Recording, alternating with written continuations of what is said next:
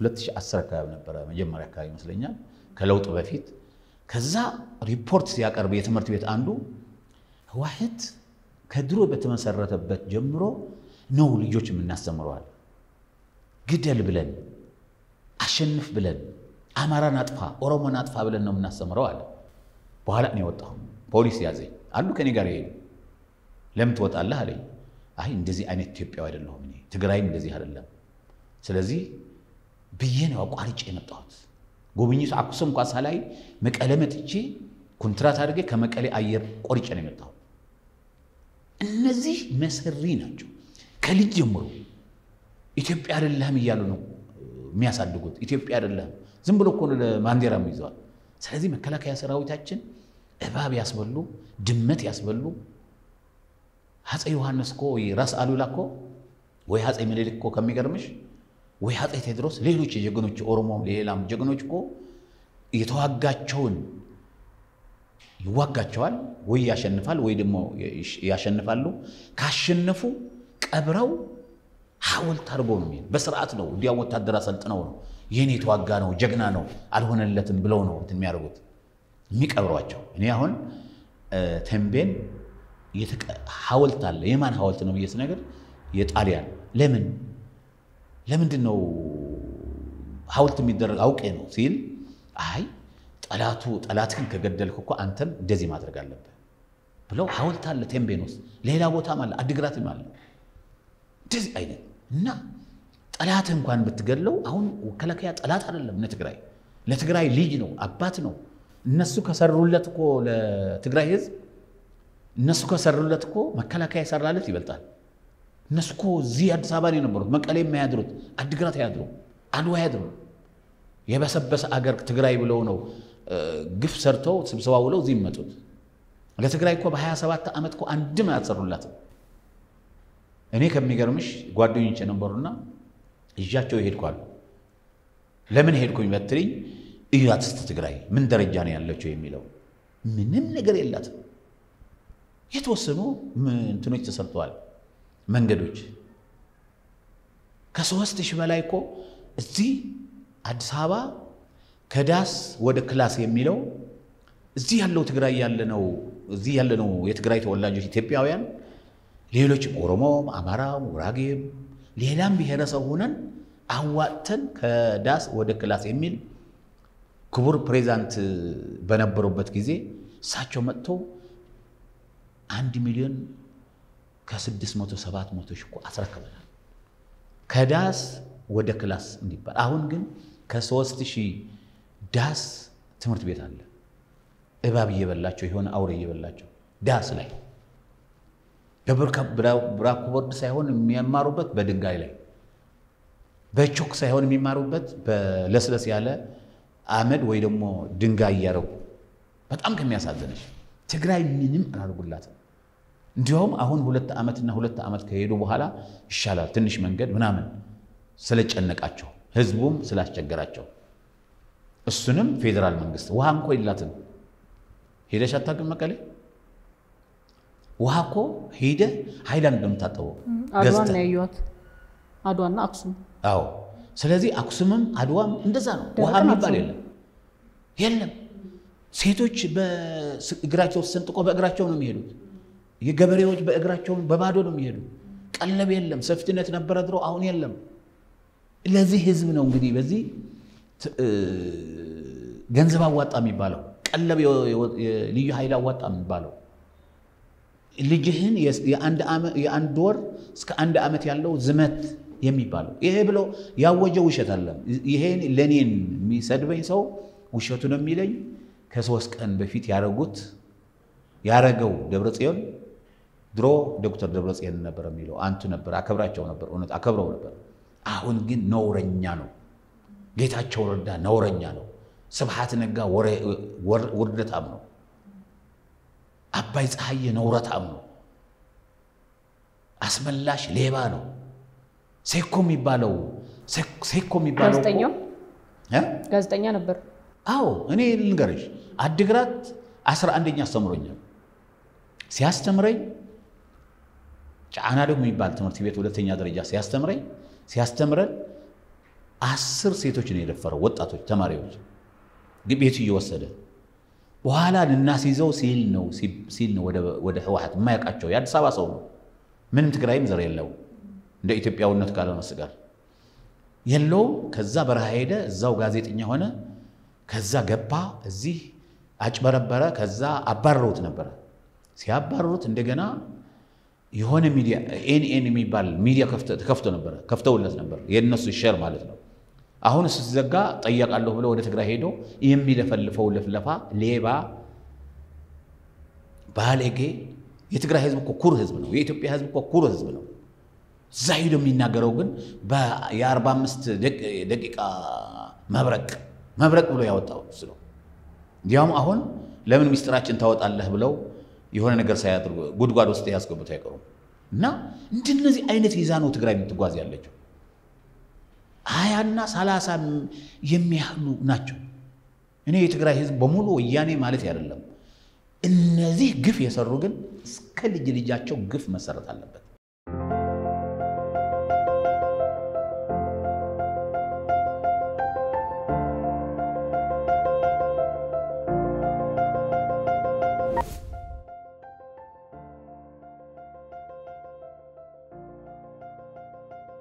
የኢትዮጵያ ህዝብም የትግራይ ትግራዋይ ኢትዮጵያ ውስጥ ያለም መንጥሮ ትግራይ ብቻ አይደለም መመንጠር ያለበት እዚህ ያለውም መንጥሮ ለህግ መስጠት አለበት። ከወያኔ ሰዎች ከወያኔ ዓላማ ከወያኔ ፓርት ኢትዮጵያዊነት ነው የምትቀርበኝ። ከልጆቼም ኢትዮጵያ ነው የምትቀርበኝ። ኢትዮጵያ ካለች ነው ልጆቼ ቤተሰቦች የሚኖሩት። የወንጀለኛ ልጆች ናቸው። የወንጀለኛ ሚስት ነች። መውጣት አትችልም በምንም አይነት። የመስጊዱ ምን ይፈልጉታል? መሰብሰቢያ አዳራሽ መስጊዱ ቤተ መቅደሱ መሰብሰቢያ አዳራሽ እንዲያደርጉት ነው የሚፈልጉት። ሃይማኖት የላቸውም ህዝቡ እንደሄዱ አንድ ለአምስት አሰሩት። በቃ ካድሬ አድርገው እስከ ወረዳ እስከ ቀበሌ እስከ ጎጥ እስከ እያንዳንዱ ቤት ካድሬ አላት።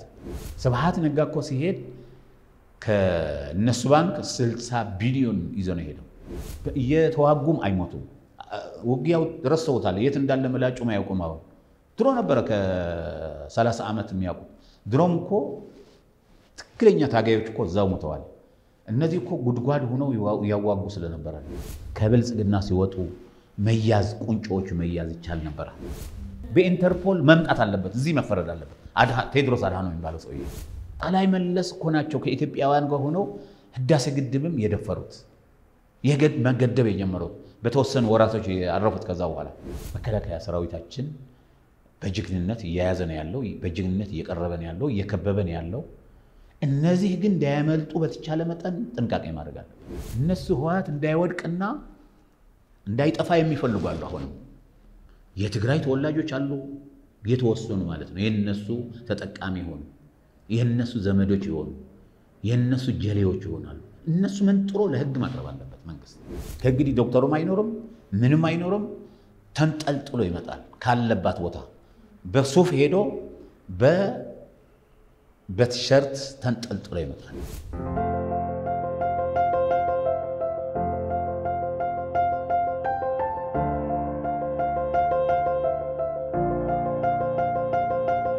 ህዝቡ ለምንድን ነው የፈራው አጋልጦ ለመስጠት? እስካሁን ባለው ሁኔታ መረጃም በመስጠት ብዙ ሲተባበር አልነበረም የሚባል ነገር አለ።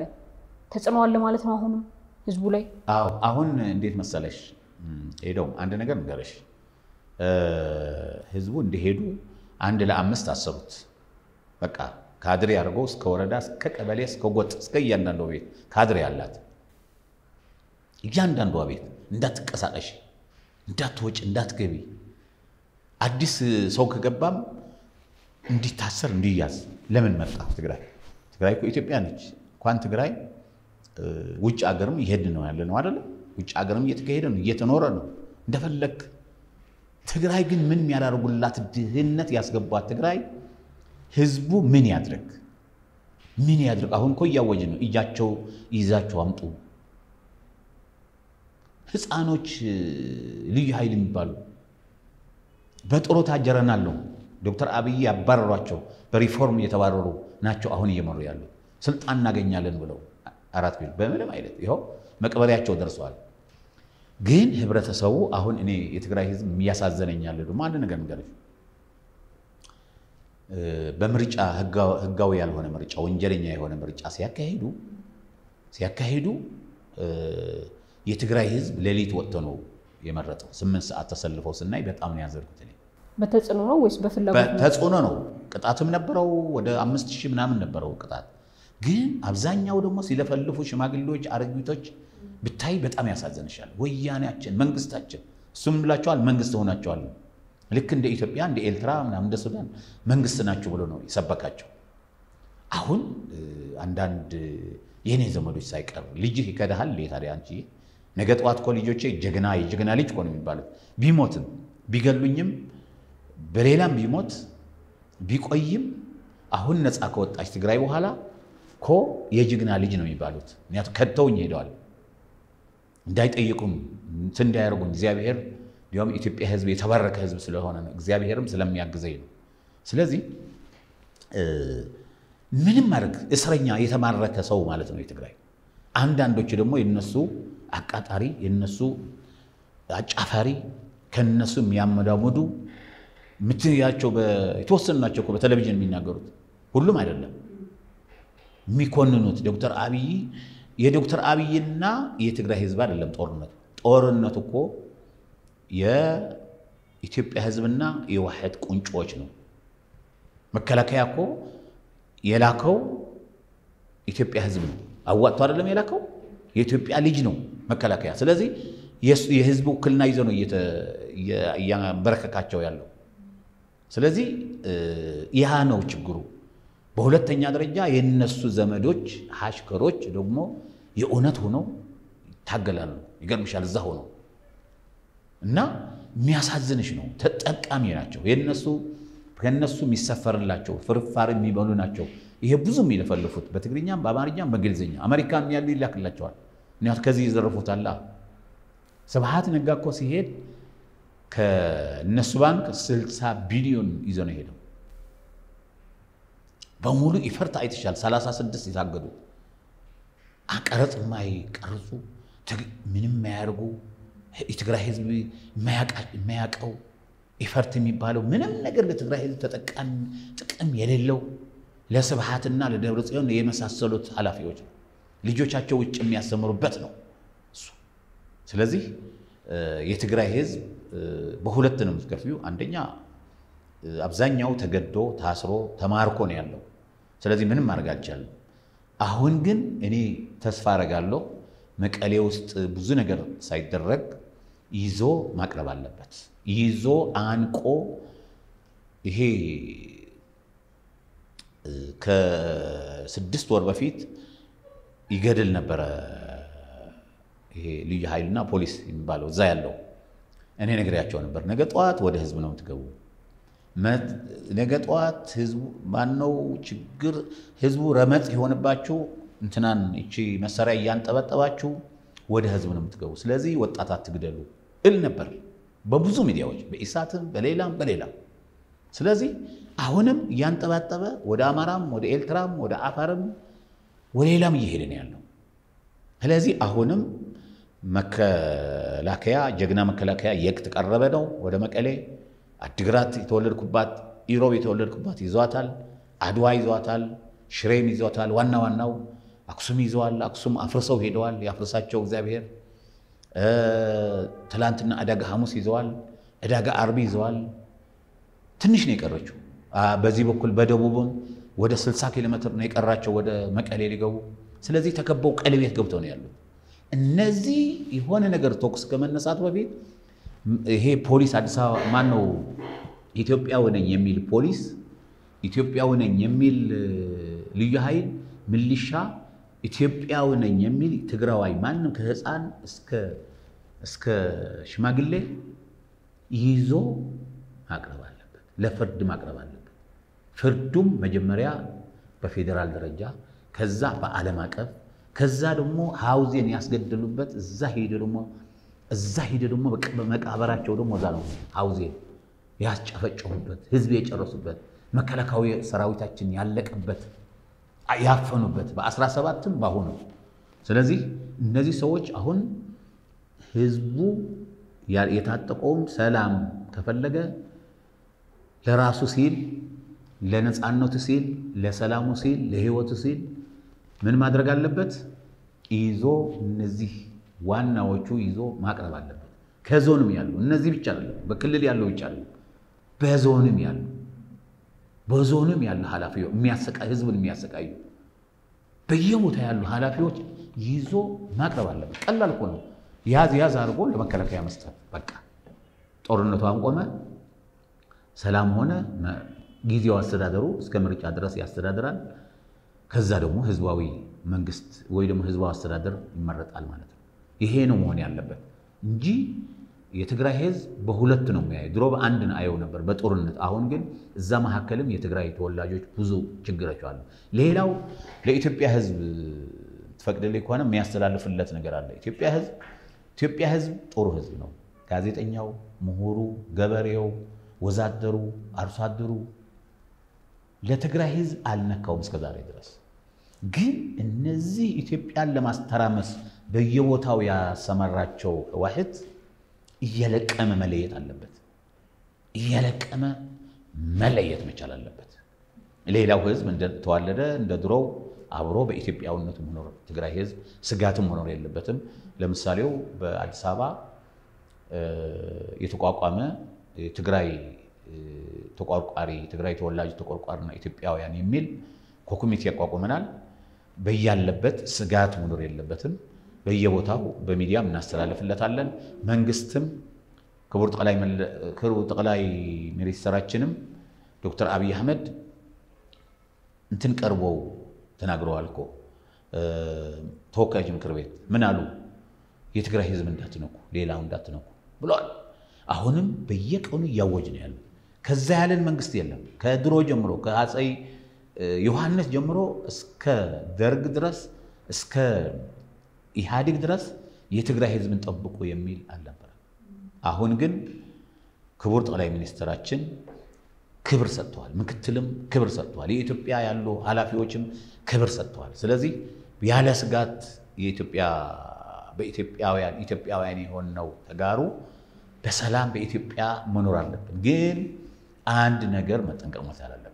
የወያኔ ሚዲያ እየሰማን እንደዚህ ሆነ እንደዚህ ሆነ ብለን ወደ ሌላ ጭንቀት መግባት የለብንም። ሁለተኛ ደረጃ የትግራይ ተወላጆች ችግር የሚፈጥሩ የነሱ ተወካይ የሆኑ የወያኔ ዓላማ ያላቸው መንጥሮ መስጠት አለበት። የኢትዮጵያ ህዝብም የትግራይ ትግራዋይ ኢትዮጵያ ውስጥ ያለም መንጥሮ ትግራይ ብቻ አይደለም መመንጠር ያለበት እዚህ ያለውም መንጥሮ ለህግ መስጠት አለበት። ሌባ፣ ተኳሽ፣ ፈንጂ የሚቀብር ሰው የሚገድል የሚያስገድል የሚያረባብሽ ትግራዋይ የለንም። ስለዚህ የእኛ ወገን አይደሉም እነዚህ እነዚህ እየመረጠርን ሁላችን ለህግ መስጠት አለብን። ሌላው መንግስት ውስጥ ያሉ ብዙ አሉ።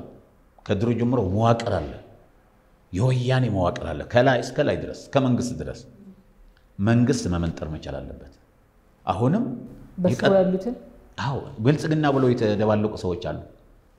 ደጋፊ መስለው ደጋፊ መስለው ወይ ደግሞ እነሱ ልኳቸው እኔ በጣም ከአንድ ጓደኛ የዛሬ እገሌ እገሌ እንዴት ነው ብለን ስናገር ውስኮ ተደመረ። እቺ መደመር በጣም አደጋ ነች። በጣም አደጋ አደጋ ነች። እቺ መደመር በጣም አደጋ ነች። መለየት አለበት፣ መመንጠር አለበት መንግስት። ክቡር ጠቅላይ ሚኒስትር እኔ ሁለት ጊዜ ወቅሻቸዋለሁ፣ ዘገዩ ትግራይን እርምጃ መውሰድ የሚል የብዙዎችም ጥያቄ ነው። የጠቅላይ ሚኒስቴሩ ትዕግስት በጣም ረዥም ሆኖ አዎ ረዘመ። ጥያቄ ነበረኝ። ሁለት ጊዜ ሁለት ቀን ወቅሻቸዋለሁ እና ከሳቸው ያሉ የሆነ የጠየቁት ነገር ነበረና እሱ እንዳይመልሱ ይህን ተቀይመው ይሆናል ብዬ ነው። እኔ ሀቅ አሁንም ልሙት እንጂ ሀቅ አይቀርም። ስለዘገየ እዚህ አይደርሰንም ነበር። ቀድሞ ቢወሰድ ከብልጽግና ሲወጡ መያዝ ቁንጮዎቹ መያዝ ይቻል ነበረ፣ ይያዝ ይቻል ነበረ። አሁንም ተደምረናል የሚሉ ሰዎች እኔ የሚያያቸው ነገሮች አሉ። በትግራይ ልጆችም፣ በትግራይ ተወላጆችም፣ በኦሮሞ ተወላጆችም፣ በአማራ በሌላም። ስለዚህ ብዙ ነገር ጥራት ያስፈልጋል። ልክ እዛው እንደተደረገው እዛው ውስጥ አስገብተው ለሶስት ዓመት መከላከያ ለሁለት ከፍለው እንዳደረጉት እነ ደብረ ጽዮን እንዳይሆን በጣም ፈራለሁ። ምክንያቱም ዶክተር አብይ ጀግና ናቸው፣ ጀግና ናቸው። ድሮም እኮ ወታደር ናቸው፣ ኮሎኔል ናቸው፣ ዶክተር ናቸው፣ ጠቅላይ ሚኒስትር ናቸው፣ የጦር ጠቅላይ አዛዥ ናቸው። ይሄ ትዕግስት ግን በዛ የሚለው ወቀሳ ነበረ። አሁን አንስቻለሁ። ግን አሁንም ጥንቃቄ ያስፈልጋል። አሁንም አሉ ውስጥ አሉ። ይስሙን፣ ለእኛ ይስሙን። እነማን ናቸው ቢሉን እናወጣላቸዋለን፣ በዝርዝር እንሰጣቸዋለን። ምንም ፍርሃት የለም። ኢትዮጵያዊነቴ እኔ ኢትዮጵያ ትቀርበኛለች ከወያኔ ከወያኔ ሰዎች ከወያኔ ዓላማ ከወያኔ ፓርት ኢትዮጵያዊነት ነው የምትቀርበኝ። ከልጆቼም ኢትዮጵያ ነው የምትቀርበኝ። ኢትዮጵያ ካለች ነው ልጆቼ ቤተሰቦች የሚኖሩት ወንድሞች የሚኖሩት። ኢትዮጵያ ከጠፋች ግን አሁን እንደጀመሯት ከጠፋች ግን አንቺም አትኖርም፣ እኔም አልኖርም፣ ልጆችም አይኖርም። ለዚህ ቅድሚያ መስጠት ያለበት ለኢትዮጵያዊነት ነው። ስለዚህ እኔ ፈለገ ይሁን ብልጽግናም ሊገለኝ ይችላል። ተዳፈረ የሚለው መዳፈር ሳይሆን ታውቃለሽ፣ አንቺ በኢህአዴግ ጊዜ በጣም እንደፈለግኩ ነበር የምናገረው። ሰድባቸው ነበር። አስተካክሉ፣ መልካም አስተዳደር እላቸው ነበረ። ትወሻላችሁ፣ ህዝቡን አታስገድሉ፣ አትሰሩ፣ አትግደሉ እላቸው ነበር። አይሰሙም። ስለዚህ ዶክተር አብይ አቅም አላቸው፣ ትዕግስት አላቸው። ግን ከዚህ በፊት በዝቶ ነበረ። ይሄ መቀጠል የለበትም። ይህ ትዕግስት ወደ ብዙ መስዋዕትነት አስከፈለን። እዛው ጦሩ ሳይከፋፈል የሆነ ነገር ሳይደርስ መያዝ ይቻል ነበር። መረጃ መግባት ይችል ነበር እዛ ጦር ውስጥ። ስለዚህ አንቆ ማምጣት የሚቻልበት ሁኔታዎች ነበሩ። እነዚህ ጁንታ የሚባሉ ሰዎች እነሱ ቢያዙ ይሄ ጦርነት አይመጣም ነበር። ስለዚህ አሁንም ሁላችን ኢትዮጵያውያን ሆነን እንደ ድሯችን ተፋቅረን ተዋደን ተከባብረን ኢትዮጵያ እኔ የሚታየኝ ነገር አለ የምትጠይቀኝ ከሆነ ሌላ ካለ እንጂ የሚታየኝ ነገር ኢትዮጵያ እነዚህ ከጠፉላት ቆንጆ ኢትዮጵያ፣ ሰላማዊት ኢትዮጵያ፣ ልማታዊ ኢትዮጵያ፣ ዲሞክራሲያዊት ኢትዮጵያ፣ ሀብታም ኢትዮጵያ፣ ሀያል ኢትዮጵያ፣ ስራ ያላት ተስፋ ያላት ምክንያቱም አባይ ግድብ ሲገደብ እኮ ብዙ ነገር ነው የሚያቃልል። ሌላም ሀብታም የሆነች ሀያል የሆነች ኢትዮጵያ እንድትኖር በጣም ነው የምመኘው። ከሚገርምሽ በኢትዮጵያዊነት ኢትዮጵያዊ ነኝ ትግራውም አይደለሁም ኢትዮጵያዊ ነኝ። ከትግራይ ተወለድኩ እንጂ ኢትዮጵያዊ ነኝ። ስለዚህ ይሄን ስለሆነ ሁላችን ተባብረን እቺ ኢትዮጵያ እንጠብቃት። መልካም አመሰግናለሁ። ሌላው እንግዲህ አሁን ጦርነት ውስጥ ነው ያለ ነው። አሁን ባለው ወቅታዊ ሁኔታ አንጻር የትግራይ ህዝብ የኢትዮጵያ ህዝብ ዕጣ ፈንታ ምን ሊሆን ይችላል ብለው ያስባሉ? የኢትዮጵያ ዕጣ ፈንታ ጦርነቱ ይጠቃልላል። ያው በቅርብ ጊዜ መቀሌም በሰላም እጃችን ስጡ፣ ከቤት አትውጡ፣ ከመከላከያ እየቀረበ ነው እየተባለ በወረቀት እየተበተነ ነው ያለው። ህዝቡ ያን አንብቦ በሰላም እነሱም በሰላም እጃቸው ይሰጣሉ፣ አይሞቱም። ምክንያቱም የሰሩት ፎቅ፣ የሰሩት ፋብሪካ፣ የሰሩት ወንጀል ስላለ ደሞም ይይዛቸዋል። አያመልጦ በምንም አያመልጦ። እነዛ እንደውም ሰሞኑን ዶክተር ደብረጽዮን የለቀቁት አንድ ቪዲዮ አለ። እጄን አልሰጥም በሞት እንኳን ያሏት ቪዲዮ አለች። ይኸውልሽ ኮሎኔል መንግስቱ ኃይለማርያም እኛ ወጣት እኛን ያስጨረሱ እንዲያውም ተጠያቂ ልክ እንደነሱ ተጠየቅ ናቸው። ኮሎኔል መንግስቱ ኃይለማርያም ለምን ለምን ብትኝ አንድ ጠመንጃና አንድ ጥይት እስከምትቀር ድረስ ታግላለሁ ብለው ነበር። ግን በሚሊዮን ጠመንጃ እያለ ነቅለው ነው ሸሽተው የሄዱት። የእሳቸው ይበልጣል። ዶክተር ደብረጽዮን ግን የሚሄድበት የለም፣ ምንም የሚያደርግበት የለም። እጅ ነው የሚሰጠው። ውሸት ነው። እንደውም ባለቤታቸው የጥገኝነት ጥያቄ እያቀረቡ ነበር ከነ ልጆቻቸው ለዓለም መንግስታት የጥገኝነት ደብዳቤ በሚስጥር እየላኩ ነበረ። እሱ ሊሆን ይችላል፣ ግን አይሆንም፣ አይወጡም። ምክንያቱም የወንጀለኛ ልጆች ናቸው። የወንጀለኛ ሚስት ነች፣ መውጣት አትችልም በምንም አይነት። ስለዚህ ይሄ እንሞታለን የሚለው ውሸታቸው ታያለሽ ወይ ሲሸሹ ካልተገደሉ በስተቀር ራሳቸው እንደ ቴዎድሮስ ምናምን ሽጉጥ አድርገው አይሞቱም፣ እየተዋጉም አይሞቱም።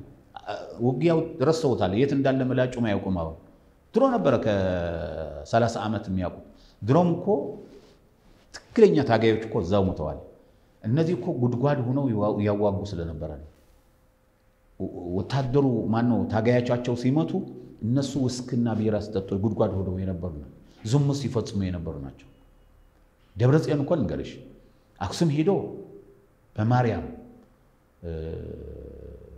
በማርያም በዓመቱ አሁን ህዳር ማርያም አይደለ በዓመቱ አምና አክሊል ነው ያደረገው። ዝሙታም፣ ሰካራም፣ ወንጀለኛ ደም በደም የጭቃየ ሰው አክሊል። መቀሌ ደግሞ ዓመቱ ነበረ የሙስሊም በዓል መውሊድ ይሁን ይሄ መውሊድ መሰለኝ ነበረ። እንትን አደረጉለት የሙስሊም ሙሉ ኮፍያና እንትን። ስለዚህ ይሄ እንደዚህ እያሉ ነው የሚኖሩት። ከሚገርምሽ አንድ ጊዜ ሙስሊም አንድ ጊዜ እንትን ግን የመስጊዱ ምን ይፈልጉታል? መሰብሰቢያ አዳራሽ መስጊዱ ቤተ መቅደሱ መሰብሰቢያ አዳራሽ እንዲያደርጉት ነው የሚፈልጉት። ሃይማኖት የላቸውም እኮ እነሱ ዛሬ ምን መሆኑ አምና አረጋዊት እንዳለ መቼ ቀን እንደሚውል ማርያም መቼ እንደምትውል መስጊድ መውሊድ መቼ እንደሚውል ምንም አያውቁም። ምክንያቱም ሃይማኖት የሌላቸው ስለሆነ ነው። ሄደው ሃይማኖት የሌላቸው ስለሆኑ እነዚህ ሰዎች ነፍሳቸው ለማቆየት ነበረ። እንደነገርኩሽ እድሜ ትንሽ ለማስረዘም ነበረ የፈለጉት፣ ግን አልሆነም። ምክንያቱም የሰሩት ወንጀል ራሳቸው የቀሰቆሱት ጦርነት ወደ ስርዓት ማስከበር የእኛ መንግስት ደግሞ ሄደ። እኛ የትግራይ ልጆች ደግሞ ከመንግስታችን ሆነን ከመከላከያ ጎን ሆነን ከወጣቶቹ ጋር ሆነን እንደግፋለን። እኔ አሁን 57 ዕድሜ ነው። አሁን ናን ሂድ ብሉኝ አይኔ ችግር አለብኝ፣ ግን ሂጄ እነዚህ አንዱን ማርኬ ቢሞት ይሻለኝ ነበር። እነዚህ ወይም ጨርሼ ልጃቸውን ጨርሼ ብሞት ይሻለኝ ነበር። ስለዚህ የእነዚህ ዘርም አይኖሩም ለወደፊት። እነሱ መንግስት እጃቸው ቢሰጡ እኮ ልክ እንደ ደርግ ወታደር እኮ ታውቃለሽ፣ የደርግ ባለስልጣናት ባደሩስ እናንተም ተያዙ፣ እጃቸው ሰጡ። ከዛ ምንድን ነው የተደረገው? ከዛ እንዲያውም እዛ ሆነው ዲግሪያቸው ጨረሱ። አራተኛ ክፍል ምናምን የነበሩ ባለስልጣኖች ከዛ መጽሐፍ መጽሐፍ ጀመሩ። ደርግና ታሪኩ የሚል መጽሐፍ የጻፉ አሉ ብዙዎቹ። አብዮትና ምናምኑ የሚል የጻፉ አሉ። እነዚህም እጃቸው ቢሰጡ ምናልባት ኢትዮጵያ ሕዝብ እንኳን ምህረት አያደርግላቸውም። እኔ አላደርግም፣ እኔ አላደርግም፣ አንቺም አታደርግም፣ እሱም አያደርግም፣ ሌላም አያደርግም። እነዚህ የኢትዮጵያ ሕዝብ የጨረሱ ስለሆኑ ማለት ነው። ደም በደም የታጠቡ መከላከያ ሰራዊታችን ያደረጉት እኮ ቢቀብሩት እንኳን ልብሱን ገፈው ወደ ኤርትራ የሚልኩ እነዚህ ሁል ጊዜ እንደዚህ ነው የሚያደርጉት። እና ሞታለሁ የሚለው ውሸት። ሚስቱ ደግሞ ይሄ አትችልም በምንም አይነት የት ማን ስለሆነች ነው የምትችለው? ቴዎድሮስ አድሃኖም ቴዎድሮስ አድሃኖም እኮ ግብፅ ሄዶ ውጉና ተኩስና ወደ አባይ የዓለም ሆኖ የዓለም እነሱ ነበር የመረጡት። ኢትዮጵያ ህዝብ አልመረጠውም። የዓለም ሆኖ ግብፅ ሄዶ ተኩስና ተኩሱ ሰራዊቱ ወደ አባይ ይመለሳል። አባይ እኮ በቂ የሆነ ጦር አለን፣ እኔ እከታተላለሁ። በደቡብ እኮ በቂ የሆነ መከላከያ አለን። በሁሉም ኢትዮጵያ አጥጋቢ የሆነ ሰራዊት አለን፣ ጀግና የሆነ ስለዚህ ይሄን የሚያደርግ ወንጀለኛ ከስልጣን መውረድ አለበት። አሁን ታስሮ በኢንተርፖል መምጣት አለበት። እዚህ መፈረድ አለበት። ቴድሮስ አድሃኖም የሚባለው ሰውዬ እንደውም እኮ ዶክተር ቴድሮስ አድሃኖም የዓለም የጤና ጥበቃ ድርጅት ፕሬዚዳንት እንዲሆኑ ዳይሬክተር ናቸው። ብዙዎች ደጋፊ ነበሩ። እንደውም እንደ ኢትዮጵያዊነት አስበው የትግራይ ተወላጅ ያልሆኑ አዲስ አበባ ላይ ያሉ በጣም ብዙ ወጣቶችም ሲደግፏቸው ነበር በሰዓቱ። አሁን ግን ራሳቸውን ይቅርታ በዛ ሰዓት እሳቸውን በመደገፋችን ይቅርታ ብለው ሁላ በማህበራዊ ድረገጽ ላይ ይቅርታ የጠየቁ ያን የደገፏቸው ሰዎችም አሉ። አዎ ትክክል ነው። ልንገርሽ እሳቸው እሱ ሰውዬ እኮ ምክንያቱም ሌባ ወንጀለኛ አንቱ አያስፈልገው። ምክንያቱም ምን ማያስፈልገው ክብር ማያስፈልገው። ይሄ ሰውዬ እኮ ልንገርሽ አንደኛ ይታገል አይደለም። ትራምፕ የሆነ ነገር ሲናገረው አንድ ጊዜ ጦርነት እኮ እኔ ያውቀዋለሁ ስለ ጦርነት አውቃለሁ ብሎ የፈኮረው ጦርነት አስመራ ተወለደ። አባቱ አምሳ አለቃ ናቸው። እኔ በደንብ የማውቃቸው አምሳ ናቸው። አስመራ ተወለደ። አስመራ ተማረ። ከዛ በኋላ ሰራተኛ የነበረችው አገባ። አጋጣሚ ሆነ ከነዚህ ጋር ማዕከላዊ ኮሚቴ ሆነ። የትግራይ ጤና ኃላፊ ሆነ። ከዛ በኋላ ደግሞ የኢትዮጵያ ጤና ኃላፊ ሆነው ትግራይ ጤና ኃላፊ ሆነ እኮ እንዳይወልዱ ኢሮብ የኔ የተወለድኩበት ኢሮብ፣ አጋሜ፣ ራያ መቀሌ፣ አውላዕሎ፣ ተንቤን እኮ እንዳይወልዱ መርፌ ወቅተዋል። አማራ ክልል ላይም በተጨባጭ ወደዛ ልመጣልሽ ነው ልመጣልሽ ነው። ካላማጣ ጀምሮ ካላማጣ ጀምሮ አማራ፣ ኦሮሚያ፣ ደቡብ እኮ እንዳይወልዱ እኮ ብዙ መሃን ሴት ነው ያለው። ብዙ መሃን ያለ ዕድሜያቸው መሃኖች አሉ እንዳይወልዱ። አማራ ዘር ለማጥፋት መርፌ አስወግተዋል እኮ ይሄ ሰውዬ። ትግራይ ነው የጀመረው፣ አጋሜ ነው የጀመረው። ከሚገርም ይሄ ሰውዬ እና አሁንም እንደዚህ የሚያደርጉ ናቸው። አሁን ውጭ ሆኖ ይፈክራል። ግብፅ መሄድ አለበት። ጠቅላይ መለስ እኮ ያሳደጉት እዚህ ደረጃ ያደረሱ ሰው ናቸው እኮ ጠቅላይ መለስ እኮ ናቸው ከኢትዮጵያውያን ጋር ሆነው ህዳሴ ግድብም የደፈሩት መገደብ የጀመሩት በተወሰኑ ወራቶች ያረፉት። ከዛ በኋላ ከዛ ይሄ ሰውዬ ሂዱና ምቱ ብሎ ማስረጃ አለኝ ለግብፅ ሂዱ ነው የተናገረው። ምቱ ምክንያቱም ከዛ በኋላ ከትግራይ ወያኔ ሳይወጋ ወያኔን ሳይዝ የወያኔ መሪዎች ሳይዝ ብሎ የተናገረ እኮ ነው። ሁለተኛ ደግሞ ሽምግልና አውጧቸው፣ ልክ ቅድም እንዳልሽ የደብረ ጽዮን ሚስት አውጧቸው፣ ከዛ አየር አስገብታችሁ አውጧቸው ያለ ሰው እኮ ነው። ማን ስለሆነ ይሄ ሰውዬ ማን ስለሆነ ማን ወከሉ? ኢትዮጵያ እኮ ነው የወከለችው እዛ። አሁን በኢንተርፖል ታስሮ እንደሚመጣ እርግጠኛ ነኝ። እኔ እየተሟጎትኩ ነው። የኢትዮጵያ ሕዝብን እየተሟጎተ መንግስትን እየሰራለት ነው ያለው። ስለዚህ እንደዚህ አይነት ሰዎች ናቸው፣ ሀገራቸው የሚክዱ ናቸው እነዚህ ሰዎች። እሱ እኮ ትግራይ እኮ አንድ ነገር የለውም፣ ግን ከነዚህ ጋር የደም የደም ቃል አለው። የደም የኢትዮጵያ ሕዝብ ደም ያደሙት ደም አሁንም እናድማ፣ አሁንም እናምክነው። ኢትዮጵያ ሕዝብ መከተ ማለት እኮ ማምከን ማለት እኮ ታውቃለሽ አይደል? መከነ ማምለት ማለት ማምከን ማለት ነው። ያመከነ እኮ ነው ኢትዮጵያ ሕዝብ የአማራ ሕዝብ በተለይ ወደ ወልቃይት እንዳይሄድ ወደ ራያ እንዳይጠይቅ ያመከነ ሰው ነው ይሄ ሰውዬ። ስለዚህ ይጠየቃል፣ በሌላም ጠይቋል። በዚህ በኢትዮጵያ ኢትዮጵያን ያስደፈረ ሰው ነው ይሄ ሰውዬ።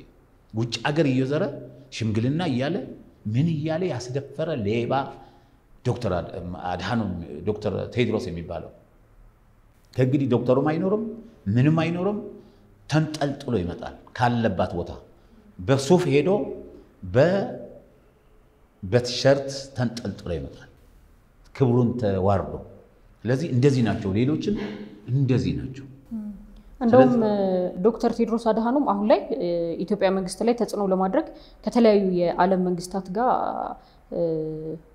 ተጽዕኖ ለመፍጠር እያደረጉ እንቅስቃሴ እያደረጉ ያለበት ሁኔታ ነው ያለው። እውነት ተጽዕኖ መፍጠር ይችላሉ ብሎ ያስባሉ? አይፈጥርም። ለምን መሰለሽ? ይሄ ጦርነት እርስ በራሳችን ነው። በደርግና በእንትንም ነበረ እኮ በደርግና በወያኔም ነበረ ድሮ እ ስለዚህ እነዚህ ሰዎች ዘለዓለም እያቆሰሉ እያደሙ የእናንተ አያቶች አባቶች እኮ ገለው ይሆናል። ወታደር ሄዶ እኮ ያልሞተበት ኢትዮጵያ ውስጥ እኮ ጥቁር ያለበሰች የለችም ይቅርታ፣ እንዲያውም ብሎ ነው የኢትዮጵያ ሕዝብ ብላ ነው እናት ወይ ደግሞ ሚስት ወይ ደግሞ ልጅ እንጂ ሄዶ ትግራይ እኮ ያልሞተባት እናት የለችም እኮ። ልጅ ያልሞተባት ያልሞተባት ሚስት የለችም እኮ። ያልሞተባት ያልሞተበት አባት የለም እኮ። ስለዚህ ይሄ ሰውዬ የዓለም ሁኔታ ያውቃል። እንዳይሹ እንግዲህ አሜሪካን ነው ሀያል አገር። አሜሪካን ምንድን ነው ያደረገው? አሜሪካን ኢትዮጵያን ደግፋለሁ ትክክል ነው አለ። ምክንያቱም ልክ በክልል ደረጃ ነው የሚያስተዳድረው አሜሪካንም። አብርሃም ሊንከን ምንድን ነው ያደረገው ታውቃለሽ? ሶስት ዓመት ነው አንድ የሆነች ክልል አምፃ እንደዚህ ሶስት ዓመት ዘጋው። በረሃብ ሞተ ህዝቡ ጦሩም እጁ ሰጠ። በተወሰነ ጊዜ ማለት ነው። ይሄ ማድረግ ይቻል ነበር እኮ ግን ዶክተር አብይና መንግስታችን ጥበበኞች ስለሆነ ምንድን ነው ያደረጉት? የትግራይ ህዝብ እንትን ማድረግ የለበትም። ስለዚህ መስዋዕትነት ከፍለን ከፍለን ነፃ እናውጣው። ሁለተኛ ደረጃ ደግሞ እዛው የታሰሩ መከላከያ ሰራዊቶቻችን እምቢ ያሉ አሉ። ነፃ መውጣት አለብን። ትግራይ ነፃ መውጣት አለባት። ትግራይ ጥይት አይደለም የሚገባው ነው የሚሉት ዶክተር ዶክተር አብይ። ስለዚህ ዶክተር ቴድሮስ ሌሎችም ደግፈውናል። እስራኤል ዋና ደግሞ የዓለም ቁንጮች እስራኤልና አሜሪካ ናቸው። ሌላ ሌሎች አገሩም ደግፈውናል። አሁን እነግርሽ የማልፈልገው ግብፅ ብቻ ነች ያልደገፈችው። ግብፅ ደግሞ ምን ትፈልጋለች? ሁል ጊዜ ኢትዮጵያ ግርግር እንዲሆን ነው የምፈልገው። እንጂ ምታ ብለው ነበረ። እዚህ ያለው ተኩስና ሙታ ይለው ነበር፣ ግን ጎርፍ ይወስደው ነበር ከሚገርምሽ። ስለዚህ የሚያመጣው ተጽዕኖ የለም። ይዞራል፣ ዓለም እየዞረ ነው ያለው። ስለዚህ እኛ ደግሞ እያሳገንን እንደ ሰብአዊ መብታችን እንዳይዘዋወር ይሄ ሰውዬ ጤና ኮረና ባለበት ሰዓት ኮረና አለ አሁን በኢትዮጵያ ይሄ ኮረና እያለ በዓለም ሕዝብ እየጨረሰ ያለ ስለዚህ መስራት ሲገባው ስለ ወንጀለኛ ወኪል ሆኖ ዓለም ላይ መሪዎች ማነጋገር አይችልም፣ መነጋገርም የለበትም። ስለዚህ ቀኑ እያጠረን እንዲያውም በቅርብ ቀን ታስሮ ተንጠልጥሎ ይመጣል። ስለዚህ ምንም ተጽዕኖ ማድረግ አይችልም ነው የሚለው። መልካም፣ በጣም አመሰግናለሁ። እስቲ አሁን ደግሞ ወደ እርስዎ ልመለስና የሰላም አምባሳደር ኖት፣ በተለያዩ ማህበራዊ ጉዳዮች ላይም ሲሳተፉ አውቃለሁ። ሁሌ ከህዝብ ጋር ሆነው ኢትዮጵያዊ ስሜት ባለው መንፈስ ብዙ ስራዎችን ሲሰሩ ነበረ ከትራፊክ ጋር በተያያዘ። እኔ ያው ውስን ነገር እንዳይሆንብኝ እስቲ በእርሷ አንደበት ያበረከቷቸውን አስተዋጽኦ ይንገሩ። እኔ እየሰራሁ ያለሁትና የሰራሁት በትራፊክ ጀመርሽና ይሄ ዚብራ የተደረገው አዲስ አበባ በዚብራ እንዲሻገር የተሰራው ከአዲስ አበባ ፖሊስ በነበሩ በጊዜው ሁነን ሰው በመሀል ነበረ፣ በመሀል ቢያሳ ነበረ የሚሄደው። በዚብራ እንዲሻገር ያደረግነው አንዱ እኔ ነኝ። እና ከአዲስ አበባ ፖሊስ ጋር ሆነን ከነበሩ በዛን ጊዜ ከነበሩ ሆነን የሰራ ነው እና መኪና አይትሽ እንደሆነ ረጋ ብሎ ያሽከርክሩ፣ ቅድሚያ እግረኛ ይስጡ፣ ከጠጡ አይንዱ የሚል ወረቀት ብቻ የተለጠፈት መኪና ነች። ታውቃታለሽ። ይሄ ሰርተናል። በይሄ በሚያኮራ ሰርተናል። አሁን ከዛ በኋላ ደግሞ ምን ማድረግ ነበረብን? የዚብራ የተሰሩ ነጭ ነጭ የተሰሩትን ሰው በዛ እንዲሻገር እሱ እንዲለምደው ነበረ። የአዲስ አበባ ሕዝብ አሰልፈን ማዕረገኛና እሽባዩ የአዲስ አበባ ሕዝብ ጥሩ ሕዝብ ሰማንና በዛ እንዲሻገር ተደረገ። አሁን በሌላ ቦታ የሚሄድ በመሀል የሚሄድ ሰው ያለ ዜብራ የሚሄድ ሰው ሞኝ ነው ማለት ነው። ለመደ። ይሄ ሰርተናል። ከዛ በነዋሪ ፎረም ሆነን በነዋሪ ፎረም ከጓደኞች ጋር ከሌላ ሆነን ህዳሴ አባይ አባይ ህዳሴ እንዲገደብ ገንዘብ በየቦታው በየድንኳን እየተከልን በየቦታው እንዲ ገንዘብ ቦንድ እንዲገዛ እንዲሰበሰብ አድርገናል። ወደ አስራ ምናምን ጊዜ የአዲስ አበባ ህዝብ እንዲጎበኘው ገንዘብ እያዋጣ ራሱ እንዲጎበኘው አባይ አድርገናል። 16 ጊዜ አድርገናል። ስለዚህ አባይ አንዱ የደረሰው በህዝብ ኃይል ነው። እዚህ የደረሰው ገንዘብ እየተዋጣ ሞራል ለሰራተኞች እየተሰጠ ምን የተደረገ ሰው ሰብስቡልን በሚባልበት በፈለገ ጊዜ ሌሊት አሁን እንትን ካሉ ሺህ ሰው ሰብስበን በእንትን አይደለም በሚዲያ አይደለም በፊስካ ጠርተን ህዝቡን ማሰባሰብ የቻልንበት ጊዜ ነበረ። ከዛ የኢትዮጵያ መብራት ኃይል ሰብሳቢ ሁኜ ብዙ ጊዜ ሰርቻለሁኝ። የህዝብ ክንፍ ማለት ነው። ህዝቡ እንዳይደናገር የህዝብ ክንፍ ሁኜ ሰርቻለሁኝ። በዛ ላይ ብዙ ታሪክ ሰርተናል። ከሚገርምሽ እንዲያውም የነበሩ ሚዲያዎች በዛን ጊዜ በጣም ችግር የፈጠሩብን ነበሩ። ምንድን ነው ያደረጉት? አዲስ አበባ ከእንጨት ወደ ኮንክሪት እየተለወጠ ያለበት ጊዜ ነበረ። ወደ ኮንክሪት የተለወጠበት ጊዜ ነበረ። ለአንዱ ኮንክሪት ለአንዱ ሲተከል ሀያ ኩንታል ነው የሚሆነው የሚተከለው በኮንክሪት የሚተከለው አምስት ከረጢት ነው ሰባት ከረጢት ሲሚንቶ፣ ሰባት ከረጢት ጠጠር፣ ሰባት ከረጢት አሸዋ ነበር የሚደረግለት ሲቀበር ማለት ነው። ወደ ሁለት ሜትር ምናምን ተቆፍሮ ለዛ እንትን ማድረጊያ ሌላም ሌላም ነበረው እና ምን ማድረግ ጀመሩ? ከሚገርምሽ ይሄን ሲተክሉ ሌቦች ይሄን ትተው በአፈር መቅበር ጀመሩ። ይሄ ራሳቸው ሲጠው ይሄ አስር ኩንታል ሊሆኑ ምናምን ሲሚንቶ ሽጠው መቅበር ጀምረው ነበር። ይሄ ያቀርበዋል። በዛሚ በዛን ጊዜ ተከራክረናል፣ በሌላ ሚዲያ ተከራክረናል። እምቢ ያሉ ሚዲያዎች ደግሞ ነበሩ። በዚህ ላይ ይሄ በኮንክሪት ብቻ እንዲተከል አድርገናል። ስንት ቢሊዮን በትሪሊዮን የሚያክል ነው። የትግራይ፣ የሐረር፣ የአዲስ አበባ የተለያዩ ትላልቅ በአስር ከተሞች ናቸው ትላልቅ በድሬዳዋ፣ ሐረር የመሳሰሉትን ይሄ እንዲተከል አድርገናል።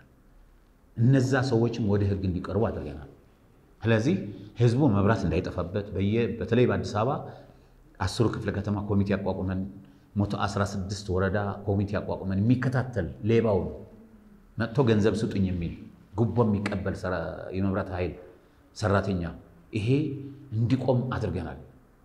በቀጠናዎች ወደ ስምንት መቶ ምናምን ቀጠናዎች ሁሉ።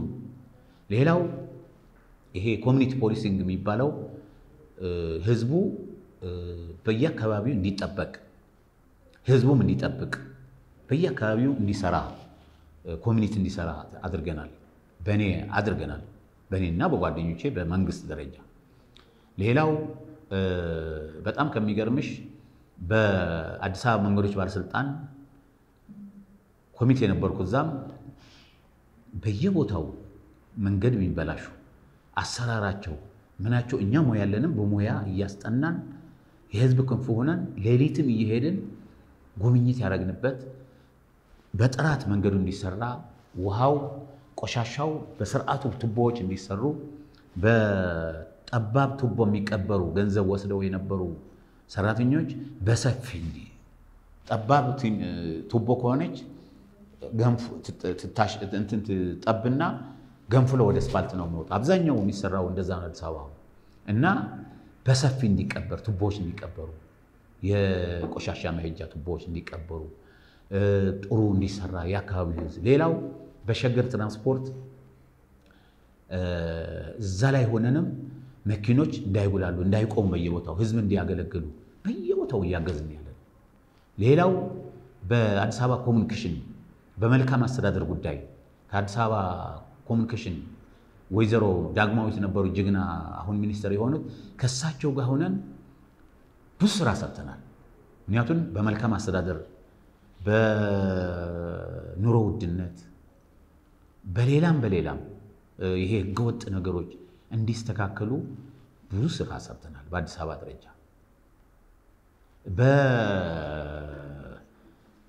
ወደ 36 ናቸው። በእሳት አደጋ እሳት አደጋ ደግሞ ኮሚቴ ሆነን ሰብሳቢ እኔ እንዲያውም ሆነን ብዙ ስራ ነው የሰራነው።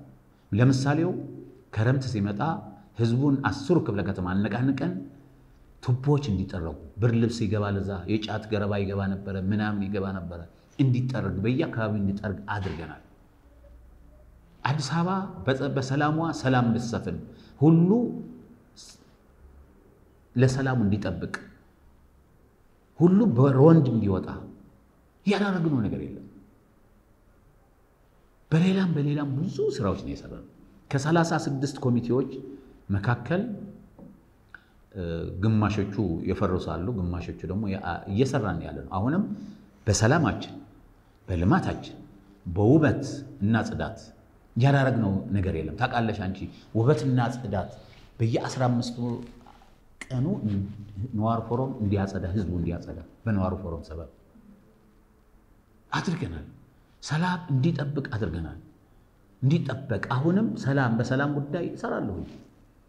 በልማት ጉዳይ በጣም ነው የምሰራው። ውበት ውብ ያላት አዲስ አበባ እንድትሆን በተለይ የአፍሪካ ህብረት ዋና ከተማ እንደመሆኗ የዓለም አቀፍ ዲፕሎማቶች መኖሪያ እንደመሆኗ የኢትዮጵያ ዋና ከተማ እንደመሆኗ የፊንፊኔ አዲስ አበባ መሆኗ በዚህ በዚህ ጉዳይ ብዙ ስራ እየሰራን እስከ ዛሬ ድረስ አሁን እንኳን አይኔ እያመመኝ ብዙ ስራ እየሰራን ያለ ነው።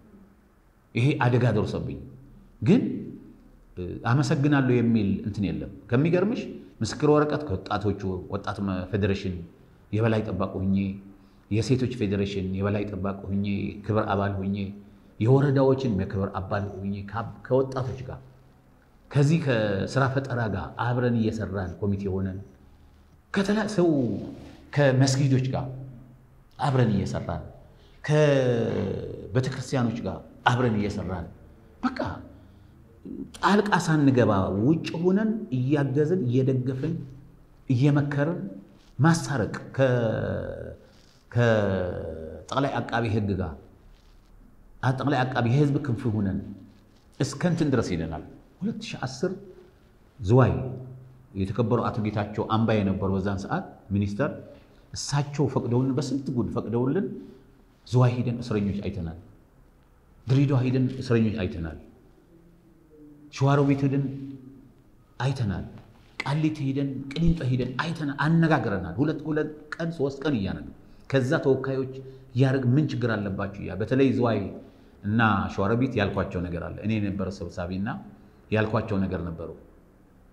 ያልኳቸው ምንድን ነው አቀረቡ። ተገረፍን፣ ተነቀልን፣ ጥፍራችን ምናምን ብሎ እስረኞች ሲያቀርቡ ግድ የላቸው የፈረዱባቸውና ያስያዛቸው ሰዎች ይመጣሉ፣ እዚህ እናንተን ይቀይሯቸዋል ብያቸው ነበር። አጋጣሚ ግን ብዙ እስረኞች መጥተው ይጠይቁኛል እስካሁን ድረስ ያልከን እኮ ወዲያው እንትኖች እኛን የነቀሉ ጥርፍ የነቀሉና ያሰሩ የቀጠቀጡ ወደ ለውጠናቸው ነው የመጣ ነው። በአቃቢ ሕግ ከተጣላ ሰው እያስታረቅን እያስታረቅኩኝ እውነቴን ነው። ትሰማዋለች፣ የትም ታገኘዋለች። ከአምስት መቶ ስልሳ በላይ ምስክር ወረቀት ከነዚህ ሁሉ ተሰጥቶኛል።